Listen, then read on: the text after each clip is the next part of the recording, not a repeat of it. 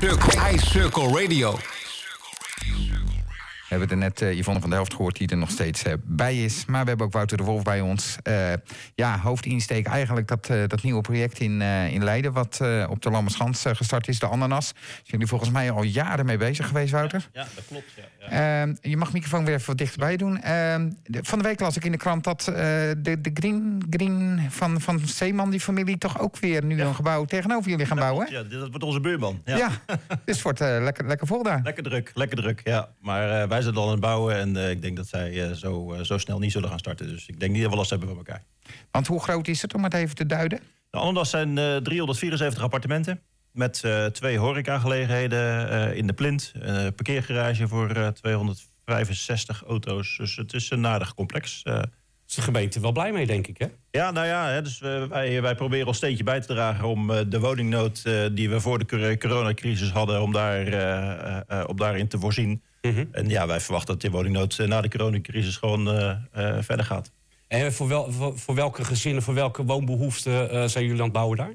Nou, de de, de, de, het, de woningtypes zijn heel divers. Hè. We hebben woningen van, van, vanaf 280.000 euro tot meer dan 7 ton.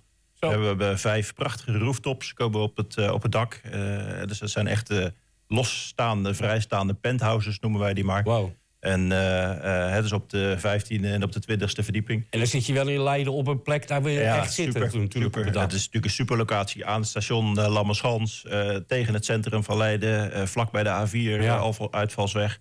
Dus ja, dat is een toplocatie. Kan je nog wat groen zien als je er bovenop staat, denk je? Ja, jawel, want je zit ook relatief dicht bij de polders. dus als je de ene kant op kijkt, dan zie je de Cityview... die, die natuurlijk prachtig is in Leiden. En aan de andere kant uh, kijk je over de weilanden. Dus dat is fantastisch. En dan hebben we niet de wethouder, de wethouder wonen hier.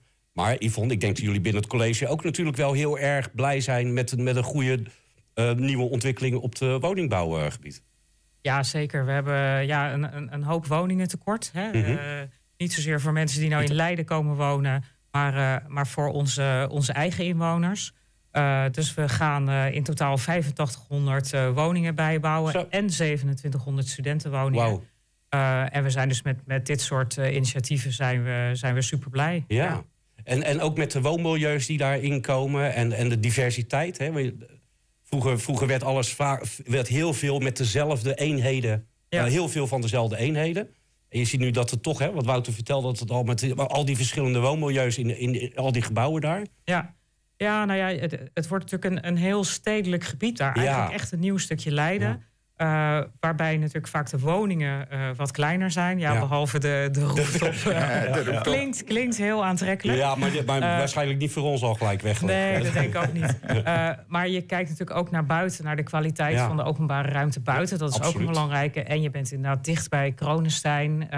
nou, en willen natuurlijk ook zorgen uh, dat het ook een fijne plek is om ook te zijn. Door inderdaad ook, uh, ook horeca toe te voegen. -hmm. Aan de overkant heb je natuurlijk het plein en het ja. ROC. Zodat ook dat stukje uh, stad in feite... Reuring ook overdag. Hè? Dus, een, een stukje gaat leven. En ja. kijk, vroeger was Lammerschans natuurlijk ja, een locatie waar wat winkels zaten. En ja, toevallig mijn ouders hadden het benzinestation... Ja. wat, wat daar aan de Lammerschansweg zit. Dus ik heb daar zelf ook jaren gewerkt. Dus je, je weet nog hoe het eerst was. En als ik nu zie hoe, hoe ontzettend anders het is. Ja. En echt een stad zou het worden. Nee, absoluut. En wat ook laatst uh, in de krant, even geleden stond, ja. dat de mensen die er nu al wonen, zeg maar daar in die hoek, dat die echt heel erg tevreden zijn. Dan okay. denk dan ben je echt een nieuw stukje stad aan het bouwen. Absoluut. Nou, dus, uh, dat is wel leuk om ook eventjes te vertellen. Wij zijn natuurlijk al jaren bezig ja. met de ontwikkeling van de ananas. Uh, en, uh, ja, nou, dit doen we niet zomaar. Hè? Nee, precies. dat, dat kost even tijd. Maar uiteindelijk ga je dan een omgevingsvergunning uh, aanvragen voor die 374 appartementen. Ja. Er is geen één bezwaar binnengekomen uh, bij ons. Nee, nee, Dat hebben we nog nooit meegemaakt met zulke grote projecten. Hè? Omdat mensen ja, die willen ja. er toch wel vaak wat van, uh, ja. van vinden.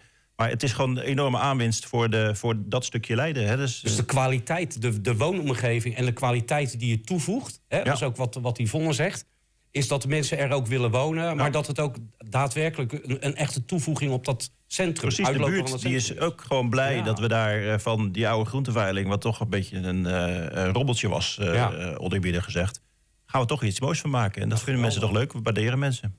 En Wouter, nou gaan jullie daar ook iets speciaals doen? Nou, speciaal. Tegenwoordig is het al bijna niet meer speciaal om iets te doen met je energievoorziening binnen, ja. dat, binnen dat pand. Kan je daar iets over vertellen? Nou, dus wij, wij willen ons steentje bijdragen in een stukje duurzaamheid natuurlijk. Zoals ook meerdere bedrijven doen. wij gaan daarin wel ver. Hè? Dus wij, wij vinden het belangrijk om door de duurzaamheid ook een stukje financieel gewin te kunnen halen. Hè. Dus, voor dat wie? Is voor, voor, voor onze klanten. Oké. Dus, okay. bedrijfsmatig mag ook, toch? Daarin proberen wij ons te onderscheiden van, van een ander. En dat is de reden dat we ook voor de Ananas een uh, groenverklaring hebben aangevraagd... bij de Rijksdienst voor Ondernemend Nederland. Wat is dat? Wouter, even helpen, even een groenverklaring. Dus, dat is eigenlijk het bewijs vanuit de overheid... Uh, dat jouw gebouw enorm duurzaam is. Hè? Dus je moet aan een energie, een EPC-norm noemen wij dat, ja. die jargon. Daar moet je wel wat over zeggen, hè? Als je, als je jargon gebruikt, moet je ja, ja, nou ja, dus de EPC is de, de, de mate van energiezuinigheid. Ja. Dus die is normaal gesproken comfortbouwsluit is 0,4. Dat zegt mensen waarschijnlijk helemaal niks. Maar wij hebben hem op 0,26, dat is bijna de helft. Ja. Dus dat is echt de helft beter, zeg maar. Um, ehm, FSC hout, hè, we zijn een FSC gecertificeerd bedrijf en we mhm. moeten dan daar ook FSC hout uh, toepassen. Heel veel zonnepanelen op het dak, een collectieve uh, warmtepompinstallatie. Dus we gaan 374 appartementen gaan we met één hele grote installatie met open bronnen gaan we die uh, verwarmen en ook koelen. Dus um, het voordeel is dat je groen bent. Hè? Je, je, je, maakt de wereld gewoon een stukje beter. Ja. Uh, een ander voordeel is dat mensen korting krijgen. Nou, de waarschijnlijk korting krijgen op de hypotheekrente. Hè? Dus, uh, Je kan een, een groen financiering daarvoor aanvragen.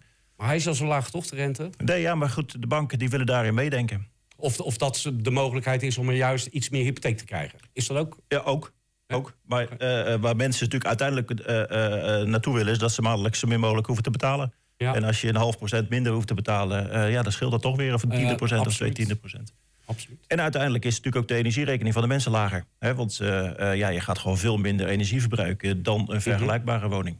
En is er dan een energiecoöperatie? Hoe moet ik dat zien? Hoe gaan, gaan de mensen gezamenlijk iets doen met die energie? Of nemen ze dat voor jullie af? Vliegt hier wat. Ja, niet je mond open doen hoor. een stukje extra vlees te pakken. Maar het is heel weinig. Dus een grote man als jij kan er nooit nee, van leven, nee. denk ik. Nee, de, er is de, de collectieve uh, uh, warmtepompinstallatie, die, die, die, het woord zegt eigenlijk al, die blijft collectief. Hè, dus daar betalen alle mensen voor. Ja. Uh, en daar kunt ook iedereen gebruik van maken. En bij komt het voordeel van die collectieve warmtepompinstallatie is ook dat je um, veel meer comfort hebt dan een, een normale woning. Hè. Je hebt vloerverwarming, nou dat is helemaal niet nieuw meer nee. tegenwoordig. Maar je hebt ook vloerkoeling. Oh, dus mensen vinden dat uh, echt fantastisch. Want uh, de, de, de, zomers worden het toch steeds warmer. Ja. Um, we hebben diverse, woningen, diverse gebouwen uitgevoerd met deze woningen. En mensen vinden dat fantastisch. Uh, want het is echt gewoon lekker koel cool in die woning. Ja. Omdat je die koeling hebt. En die vloer is natuurlijk een groot oppervlak. Die, mm -hmm. die brengt relatief veel koeling in de woning. Ja. geen radiatoren. één radiator in de badkamer. maar dat is een elektrische radiator om je handdoekjes lekker op temperatuur ja. te houden. Heel dus, belangrijk. Ehm, ja, het is groen. Uh, ja, het levert geld op. En mhm. het verhoogt het comfort. Dus het is aan alle kanten. Is en het is gasloos natuurlijk? Gasloos, ja. Dat is, maar dat is, de, dat is de, de norm tegenwoordig. Maar e-, even, want het is mij nog niet helemaal duidelijk. Je zegt, de mensen nemen dat af en het is een gezamenlijke bron. Maar van wie nemen ze dat dan af? Nemen ze dat wel van een energiebedrijf nog, nog steeds af? Of de elektriciteit die nemen ze gewoon van het energiebedrijf. En, en de, de, de warmte van de uh, warmtebron? Nou, de, de, het warm water en de, en de. Die, die, die installatie die wordt geëxporteerd. Dus, uh, en de mensen zijn daar allemaal, uh, die, die, die, die, kunnen daar allemaal gebruik van maken. Die ja, betalen daar coöperatief, coöperatief, met elkaar betalen ze het onderhoud, betalen ze het gebruik. Ja. Oké, dus dat is een soort stadswarmte kan je het mee vergelijken. Hè? Dus daar betaal je ook ah, maandelijks Daar gaan we het nog een keertje over hebben. Daar hebben we vorige week nog even wethouder Jacco Knaap in de uitzending gehad. Hè? De, met met de warmte die uit Rotterdam deze kant op, op kan komen. Is dat ook nou, iets waar jullie nu al naar kijken? Want jullie gaan, denk ik, nog meer. Ga je nog binnenkort wat meer ontwikkelen? Nou, het hele gebied uh, rondom de ananas, uh, die, die gaan we van Lieverlee uh, doorontwikkelen. Er zijn nu opstallen die verhuurd worden. daar zitten huurders in, er zitten garagebedrijven in. En in de komende jaren, maar dat praten we over tientallen jaren, ja, dat wordt uh, gewoon gaan we dat hele gebied gaan we, gaan we uh, ontwikkelen. We zijn er wel bezig met de Turkooislaan, ook in, uh, in Leiden. Hè. Dus dat wordt ook, ik geloof, 135 wat kleinere appartementen worden ja. dat. sociale huurappartementen. Oké. Ehm, die, die, hopen we ook nu eh, de komende, komende jaren wel op te gaan uh, hey, en sociale huur, gaan jullie die zelf huren of gaan die naar een woningcorporatie? die, ga je dat, die, die gaan naar een toegelaten instelling en die gaat ze vuren. Ah, oké. En, en, dan ben ik, ben ik benieuwd, ja. krijgen de sociale huurwoningen ook, ook dit soort energiezuinige nou, ingrepen? Nou, dat zou natuurlijk ook fijn zijn voor de huurders. wij zijn er altijd wel voorstander van. Hè. Dus we hebben een aantal sociale huurprojecten hebben we ook gemaakt met dezezelfde installatie. Mhm. Om ook die mensen van dat comfort te kunnen laten genieten. En uh, daar, is de, de, de tekortlaan is nog in ontwikkeling, dus we zijn dat allemaal nog aan het engineeren. Uh, maar uh, we gaan daar zeker naar kijken. Ja? ja. Oké, nou, dat is een toezegging. Heb je hem opgeschreven? Ja, in, in de gemeenteraad is een toezegging belangrijk. Hè? Wethouders moeten dat toezeggen, hè? Niet bouwers. Maar... moeten toezeggen, maar je hebt, nu, je hebt er nu van... Nou ja, dat is heel erg goed. Maar we hadden het even over, over die, die, die warmte... die eventueel uit de Rotterdamse haven gaat komen. Waar Leiden zo meteen op, op aan gaat takken als het, als het goed is. Eh, jij bent jullie zijn ontwikkelaar, hè? wat je nu net aangeeft. Is het al ook een item wat je nu al meeneemt in je toekomst? Uh, ideeën? Nou, de, de, stadsverwarming is natuurlijk heel afhankelijk van de positie waar je aan het bouwen bent. dus dat soort mhm. dingen worden echt heel specifiek per project bekeken. Is het interessant? gaan we er wel bij door of gaan we, gaan we er niet meer door? Dus voor de ananas hebben we het sowieso niet, uh, nee, niet bekeken. Maar dan zou het, zou het inderdaad dat, te vroeg zijn. Ja, precies. Ja. ja. Ehm, we hadden het ook nog eventjes over welke circulaire... We hebben het hier ook over circulariteit. Nou weet ik, uh, je gaf net aan met duurzaamheid... en je bent aan het kijken naar elementen... die in ieder geval ook voor de, voor de toekomst heel erg duurzaam zijn. Als ik nou kijk naar welke elementen heb je ook nog toegevoegd in je bouwmaterialen... waarvan je kan zeggen van nou, daar hebben we echt wel op gelet. Behalve het FSC-hout, wat ja. natuurlijk al helemaal supergoed is. Nou ja, het FSC is een groot, groot aandeel. Uh, verder hebben we een, een, betonconstructie met, met, met tunnels. Dus het wordt gegoten beton. Ja. Wat, wat, zegt dat? Nou ja, dus de, oh, dat is een, een, een bouwsysteem waarbij je dus een, een stalen bekisting... Ehm, waarbij de, de, de vloer en de wanden in één keer staat... en die ook in één keer volgestort wordt. Ja. De volgende dag gaat die kist eruit en die gaat naar de volgende woning. Dus je kan eigenlijk met één kist kan je de woning per dag kan je, kan je maken. Dus dat gaat enorm snel, ook in de tijd. Oké, oké. Ehm, en dan is het gewoon, dan zeg je, daar zit vooral de duurzaamheid in het minder materiaalgebruik. Ja. Om te komen tot die onderdelen voor jouw gebouw. Ja, ja dus, eh, de, eh, wat ook daarvan een, voorbeeld, een, een, een, voordeel is. Als je, vaak heb je met, eh, met beton te maken. Dat is waarschijnlijk wel wat circulairder dan gegoten beton. Alleen het aantal vervoersbewegingen wat je daar weer voor, eh, voor nodig hebt, dat maakt het weer minder interessant. Mm -hmm. dus het, het, de, de vervoersbeweging die wij hebben, is die betonmixer, die komt uit Leiden en die rijdt uh, naar de Ananas. Daar hou je al rekening mee dus? Ja, precies. dus uh, ik denk dat we daar een aardig steentje bijdragen. Okay. ik heb nog één ding en dat wil ik gewoon vragen. We hebben nog een paar minuutjes. Nou is minister Ollongren, die is bezig om de milieuprestatie van de gebouwen... Hè, die er nu al is, maar je had het net al even over, over een, een andere coëfficiënt waar we rekening mee moeten houden. Maar de milieuprestatie van gebouwen. En die zegt: ik ga hem aanpassen. En ik ga er rekening houden met de materialen die wij uh, kunnen gebruiken vanuit de bestaande grondstof- en materiaalstromen. Als ze dat nou gaat doen, wat, wat zeg jij dan? Nou, kijk, uh, wij, wij zeggen altijd: wij, uh, wij willen bouwen wat onze klanten willen. dus dat is voor ons het belangrijkste. Om een voorbeeldje te noemen. Vijftien jaar geleden waren wij al pionier op het gebied van warmtepomptechnologie. Mm In Nieuw-Vennep hebben we hele wijken gebouwd met uh, gasloos. Uh, met. Katwijk ook, een hele mooie, mooi groot uh, complex. Ja, maar is, vijftien jaar geleden deden we dat. Dus nu is het de norm. Hè. Nu moeten we gasloos, ah, omdat de regering dat bepaald heeft. En we vinden dat natuurlijk ook belangrijk. Maar nu moet iedereen het. Alleen toen deden wij dat al. Maar toen liepen wij wel tegen een probleem aan. dat mensen, particulieren vooral, die willen allemaal enorm groen zijn. Die vinden dat fantastisch. warmtepomp, hartstikke leuk. Tot op het moment dat het geld kost. En dan gaan ze toch, toch even achterdoor uh, krabbelen.